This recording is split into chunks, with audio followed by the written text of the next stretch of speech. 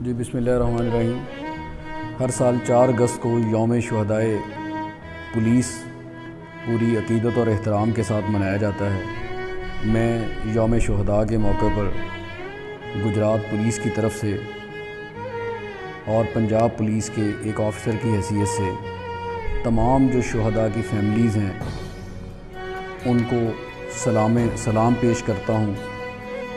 ख़ास तौर पर उन माओं को उन बहनों को, बच्चों को, जिन्होंने अपनी फैमिली और अपने जिगर गोशे और अपनी फैमिली के जो सुप्रीम जो कुर्बानी दी है आवाम की जान, माल, इज़्ज़त, आबरू के मुक़दस फरीज़े की राह के अंदर, मैं समझता हूँ कि जितना भी उनको अप्रिशिएट किया जाए, उनकी कुर्बानी को याद किया जाए, उतना ही कम है।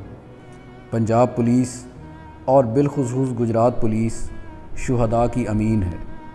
गुजरात पुलिस ने और गुजरात की पुलिस की फैमिलीज़ ने अपने इकहत्तर जो जवान हैं, वो राह हक में कुर्बान किए हैं।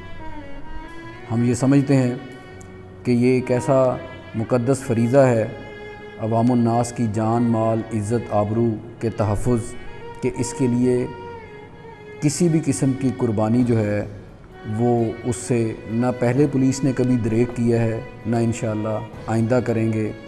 हम अपने फ़र्ज़ से बखूबी आगाह हैं और हम इन इस अपनी ज़िम्मेदारी को अदा करने के हवाले से और इस फ़र्ज़ को अदा करने के हवाले से आइंदा भी किसी किस्म की कुर्बानी से दरेर नहीं करेंगे।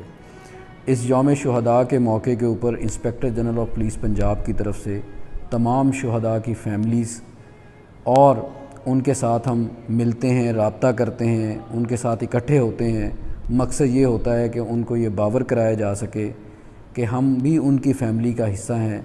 सारी पुलिस जो एक एक्सटेंडेड फैमिली की तरह है और उनकी कुर्बानियों को इस दिन के ऊपर बिलखसूस हम याद करते हैं बतौर ख़ास हम याद करते हैं।